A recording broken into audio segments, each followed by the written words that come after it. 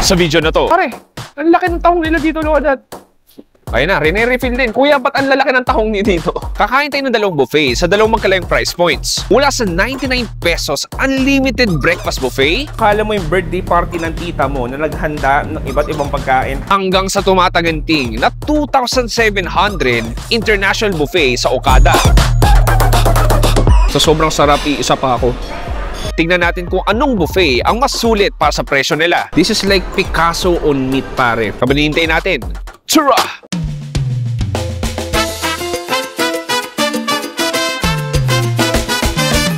Chef, itong balita ko dito sa kainan ninyo, eh nag-offer kayo ng breakfast na unlimited sa halagang 99 pesos. Ang gusto ko malaman, ano na yung mga kasama sa 99 pesos na yun? Yung sa menu po namin everyday po is iba-iba po siya ng ano ng preparation. So ngayon po yung naabutan nyo, ayan, meron kami diyang palabok, ah, special palabok, ah, salad na talabos sa kamote, mga ganun po.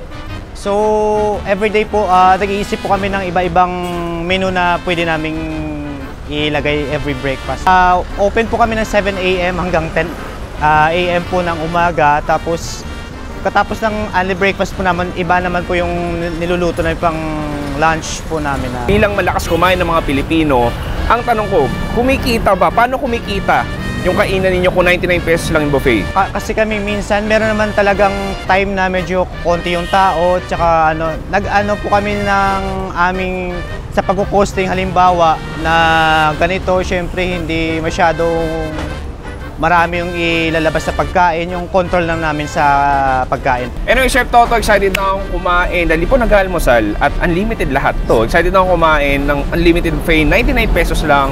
Ano ba hinihintay natin? Tara! Tara! Okay, ito na yung moment of truth. Pumasok na tayo dito sa Herbies Unlimited Almusal. 99 pesos. Tignan natin kung ano yung mga nasa loob. Tara!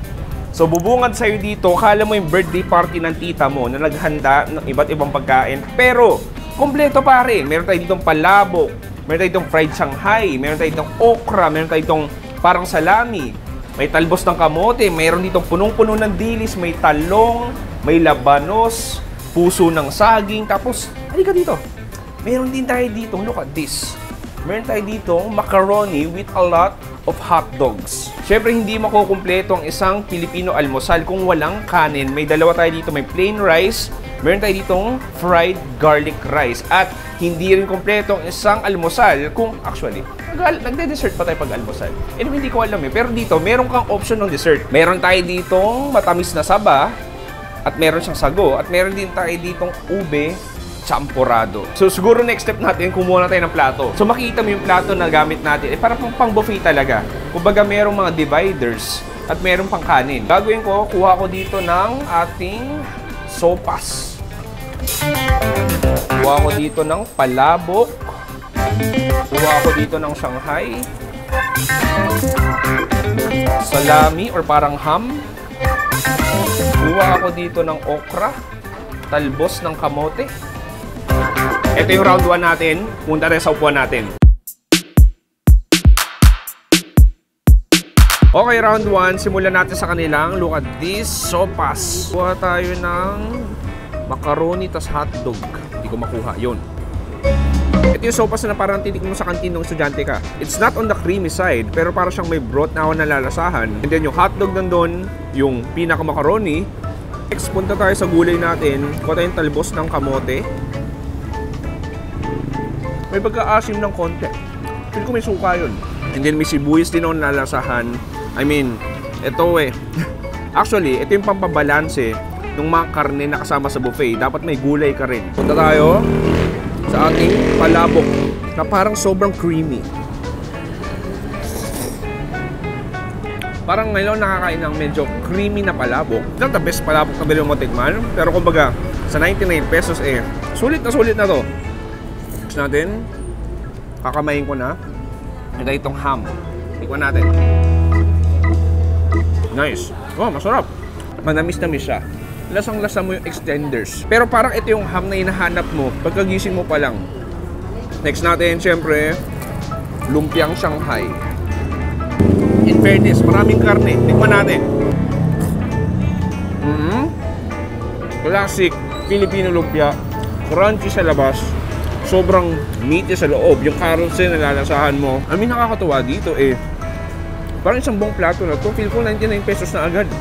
Pero, konti pa lang kinuha ko at round 1 pa lang to. And based on my observation, yung mga kumakain dito, halo-halo eh, mga estudyante na papasok sa school, mga empleyado na papasok pa lang sa trabaho nila. Anyway, tigil natin daldal, punta tayo sa round 2.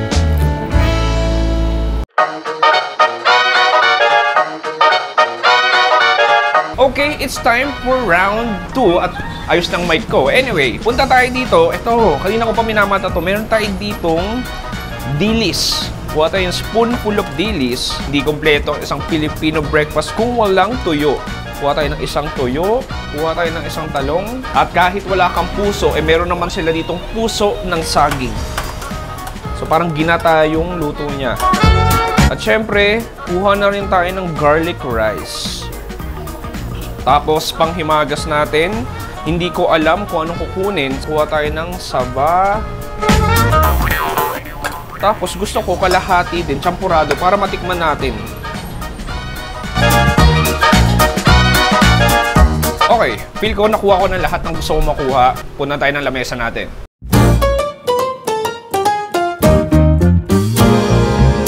Okay, it's time for round 2. Alam mo ba, hindi lang pagkain unlimited. May unlimited juice at coffee rin sila dito, di ba?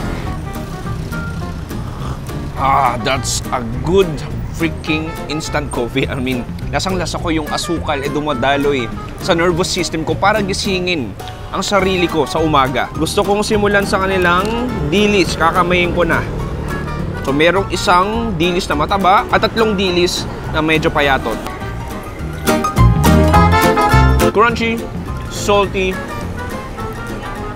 fishy. Anyway, punta tayo sa ating gulay. Gusto ko tikman tong talong. That mushy texture ng eggplant. Tapos, kung may magong ba siya or what. Pero overall, malasa yung talong. Ito, puso ng saging. Ito, ginataan nga. Kasi may, tapos may konting asim din. Para siyang, para kang kumakain ng Bicol Express pero puso ng saging yung karne. Ito yung ating tuyo. Diba? Sabi nga nila, medyo mahal na rin yung tuyo ngayon. Pero dito, eh, unlimited. Tapos, lagay natin sa garlic rice. Cheers! Mm. Ay, ang sarap ng garlic rice. Ang sarap. I mean, yung kanin natin, medyo sticky pa siya. Tapos punong-puno ng bawang. Tapos yung toyo, yun yung finisher, yun yung klasikong breakfast natin. Nandun yung alat, may konting pait, tapos may kasama pang konting lutong. Ito yung almusal na, syempre tayo, di ba, kunyari, pagising natin, medyo groggy tayo, medyo masungit, ganun. Pero kapag hinandaan ka ng buffet ng almusal, 99 pesos, parang niligaya yung araw mo. At sabi nga nila, breakfast is the most important meal of the day at I agree. At dito sa Herbies, eh, tinitik serious talaga nila yung almusal dahil 99 pesos pero parang may birthday na pwede kang kumuha ng pagkain na kahit ilang gusto mo. Punta tayo sa ating dessert. Siyempre may dessert pa. Gusto ko tikman tong sa vanilla. That's a sweet caramelized sugar flavor. Yung saging din nandun sa sago. Ulo ng toyo. Ilagay natin sa ating ube champurado. Tapos samahan na rin natin ng saging. Ah, perfect ba ito? Look at this layers of colors and layers of texture. Ko alam kung tama yung ginawa ko pero parang ang daming tinik ng ulo. Hey, pare, tapos na tayo sa 99 pesos buffet natin. Punta na tayo sa Okada para puntahan ang expensive buffet natin ngayong araw.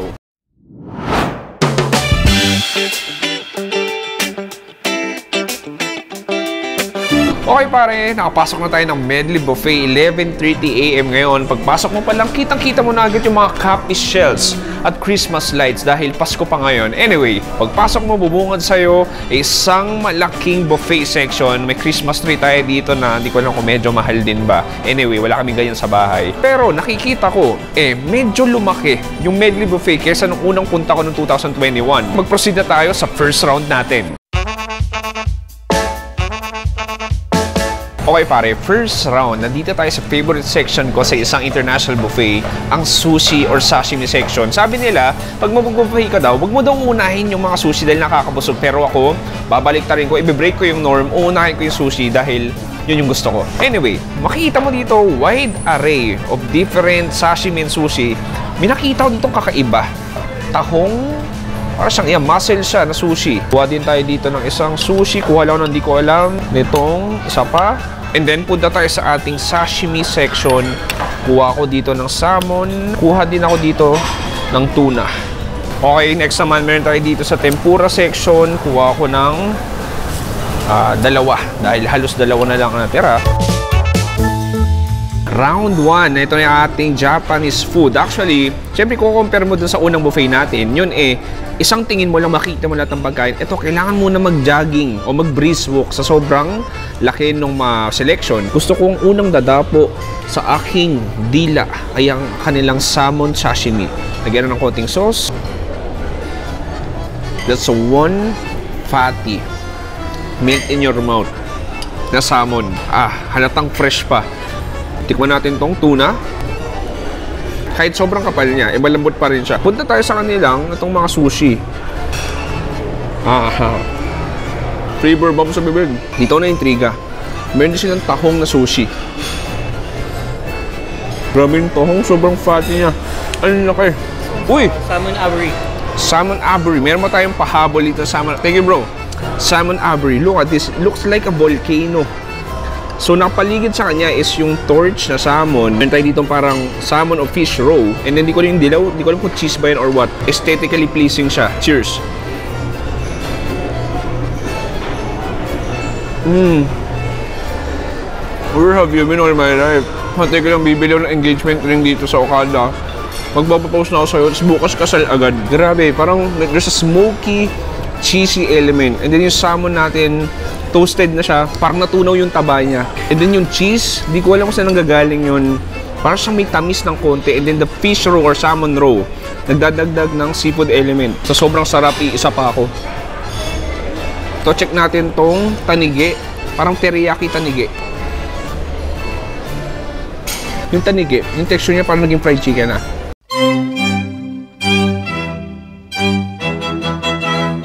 Okay, second round. Nandito tayo sa kanilang seafood paluto session. So, gagawin mo, kuha ka ng seafood na gusto mo. Siguro, kuha ko ng, kita mo, no? Medyo vibrant yung mga hipon nila at malalaki. At rine-refill pa. Ano yung kuya, clams? Clams. So, pwede ka magpaluto. Yes po sir, like buttered garlic or Ah. And then pwede mo kuhalaan soup. Kuha rin ako ng crab dito. Pare, ang laki ng tahong nila dito, look at that. Ayun na, rine-refill din. Kuya, ba't ang lalaki ng tahong niyo dito? Uh, this one's uh, from uh, New Zealand sir. Ah, totoo. So, imported pa siya. Imported, yes. Okay. I think this is one of the fattiest and juiciest na tahong na nakita ko. Anyway, ang gagawin natin dito, pumunta tayo sa paluto section. Siyempre, ipaluto natin to. Chef, isa ba to sa pinaka, masasabi mong pinakamahal sa menu dito? Isa sa mga pinupuntahan po ng guest namin dito. Ah, ito talaga. Kasi masarap naman, nandito po yung ano niya. Tsaka higit sa lahat, medyo mahal. Tama. anyway, sulitin natin yung pera natin. So, i-slice niya na, inahasa niya mabuti.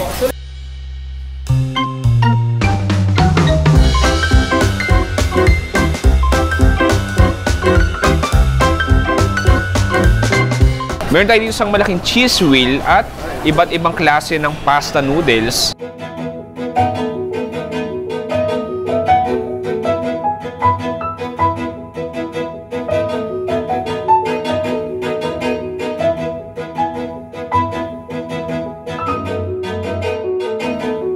Back for the second round. Nandito na yung ating medyo halo. Meron tayong American, meron tayong ditong seafood, meron tayong Italian. Ito yung ating aglio olio na ginawa ni chef. Ito yung nasa cheese wheel kanina. So, gusto kong tikman. Kuha tayo ng hipon, mushroom. Tatawagan mo Ayan. na lang Cheers. Parang tong isang malambing na halik sa cheeks ko ni chef kanina. Pinaghandaan niya, galing sa puso niya. Taste some garlic. Tapos yung olive oil yung isa pa sa pinaka nagpapalasa sa kanya. And then in terms of karne, eh, punong-puno ng hipon tapos tahong din. Gusto ko tikman kasama yung cheese wheel kanina. Mm. Oh, panalo to. Ito yung kanilang beef brisket. Look at that. Itsura pa lang eh. Mukhang juicy na. So, gusto ko tikman yung parte na wala mo ng sauce. Wow, ang lambot. Teka lang. Hindi na kailangan ng knife to. Pwede ng kutsara. Na sobrang lambot. Mm. Mm. That's an award-winning beef biscuit. Wow, ang lambot. Tapos yung taba niya, parang medyo natunaw na sumama sa karne. This is like Picasso on meat, pare. Ang ganda ng pagkakagawa. Kumbaga sa orchestra, eh maganda yung pagkaka-arrange ng mga kanta. Mm. Punta tayo sa seafood natin. Ang laki talaga ng tahong. This is New Zealand mussels. Mm. Ang lalaki ng tahong nila dito. As in, ang lambot pa sa pagkakaluto. And then yung flavoring, butter, garlic, simple pero masarap. Punta tayo sa hipon. Ayan. Yung hipon nila. Ang lalaki rin eh, no? Pasensya na. Alam ko nang hinayang kayo. Dahil hindi ko siya nakain ng buo. Total nandito na rin. Tirahin na rin natin tong crabs. Oh. So, pakita ko sa inyo. All of that butter. All of that garlic. Mm. Mm. That was an amazing bite panigurado. Magagalit si Aquaman o si Little Mermaid dahil sa ginawa kong yun. Pero wala tayong magagawa. Masarap yung seafood.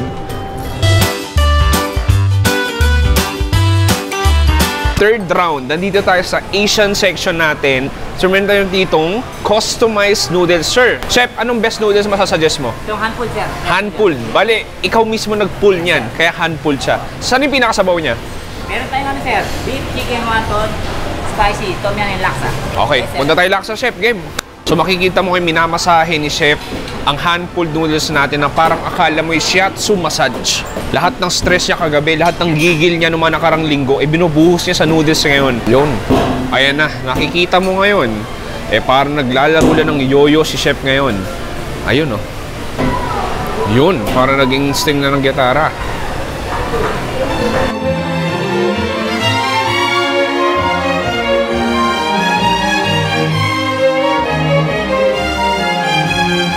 Okay, bukod sa laksa, meron tayo iba't ibang dim sum. Ah, so meron tayo dito, chef, anong meron ka? Vegetable. Sige, try ko yan, chef. Isa ako. Hindi pa... Yun! Kuha na isang shumai. Salted egg, sige, kuha rin ako. Ang cute, to. Panda ban. Kaso lang masisira ko siya. Tapos tikman ko itong Kung Pao Chicken. Okay, third round, tirahin natin tong shumai. Cheers! Yun ang titikmang kong dim sum o siomay sa mga mamahaling Chinese restaurant. Porky, meaty, shrimpy. Next, Kung Pao Chicken. Mmm, masoy sauce base siya. Parang siyang teriyakang maasim. Meron itong vegetable dumpling. Yung kumuha ng toyo. Pero yung gantong klaseng dim sum, kailangan niya ng toyo. Ito yung custard bun nila. Salted egg din daw laman. Tikman natin. Ah, hindi salted egg. It's a prank. Mm. Parang munggong loob. Parang munggong mabango yung loob niya. Yung pinakaloob yung maliit, yun yung salted egg. Punta tayo sa hand-pulled laksa noodles ni Chef. Tikman muna natin sabaw. Mm. Coconut milk, tas ang nasa mo. Kuha tayo ng noodles na hinaan-pulled. Look at that. Cheers. Mm. Mm. Yung freshness ng noodles, ang lambot, as in, sobrang delicate niya. And then, all of that creamy, milky soup or broth, dumapo na sa noodles natin. Alam ko, hindi lang ako busog, panigurado nakadalawang bowl na ako.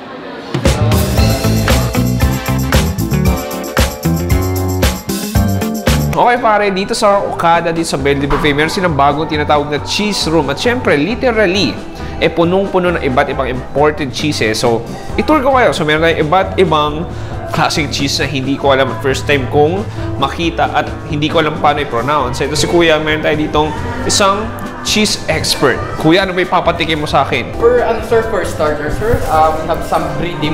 It's Brie de? Brie de. It's a French cheese from cow's milk. Anyway, gusto ko man tumikim ng maraming klaseng keso dito eh. Hindi kakayanin ng tiyan ko dahil meron pa tayong makakainin. Ito, tikman natin. Cheers! Solid na combination. Sa thick kind of cheese na para siyang may aroma eh. Anyway, kung mahilig ko sa keso, mahilig ko experiment this is a perfect cheese room. Anyway, proceed tayo sa next food trip natin. Punta tayo sa fourth round natin. Meron tayo dito Korean food. So, kuha ko dito ng Jiyokbokum. Dito pa siyang pork belly na may red sauce. And then, meron tayo ditong Jimdak. Korean braised chicken. LA Galbi. So, para siyang pork chop. And dito sa Korean food na to, sasabayan natin ng Indian food. Hanapin natin yung Indian station. Okay, pare, naamoy ko na ulit yung deli dahil nandito sa Indian station. Kuha tayo dito. Ito yung papadom. Ito yung parang crackers na nilalagay sa kanin. Uy, chicken tandoori. Lamb sik kebab. Gusto ko tong garlic na ano nila. Black lentils with butter. So parang munggo ata to. Okay, so yung plato natin ngayon ay punong-puno ng Korean food sa kaliwa at Indian food sa kanan pero medyo may bagong dating. Oo, okay. So green curry yung gamit niya. Feel ko may chat nito.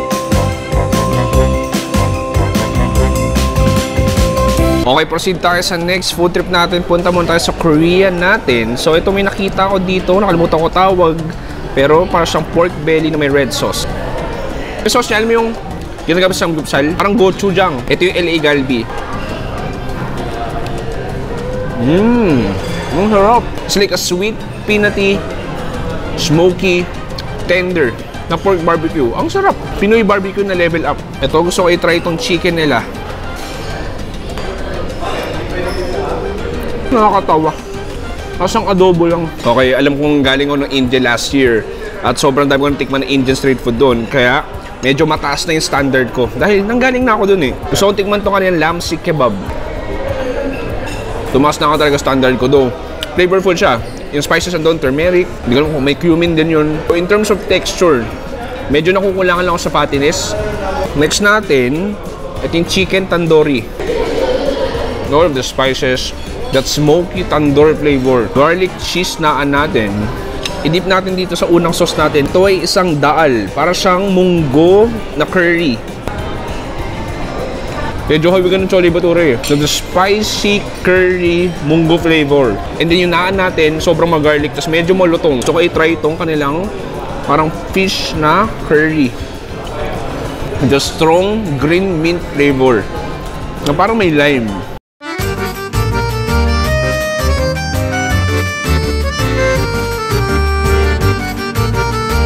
Ito na, medyo napupuno na at uh, pumuputok na yung chunk ko. Pero meron pang konting room para sa dessert. Ang dami ng dessert dito in fairness. Ito yung ube langka na tinatawag nila. Mas lamang yung langka kesa sa ube. Look at this banana cream pudding. Itsura niya pa lang, eh, parang sobrang tamis na. Ah, okay. Ang lambot niya. parang tamis nito. Mmm. Alam yung tamis niya? In a very good way. Basically, banana bread siya na mas pinamashi, mas pinakreamy, and then yung sweetness. May konting galing sa sugar, pero more on sa banana. Parang nagkaramelista yung banana. Ito yung ating crepe. So, may red velvet crumble sa taas, vanilla ice cream, tapos banana yung loob. So, gagawin ko, eh, biyakin natin konti. May uh, red velvet crinkles, may saging, may ice cream, at yung crepe. At good luck sa timbangan ko mamaya kung ilan yung naging compounds. Anyway, cheers! Mm.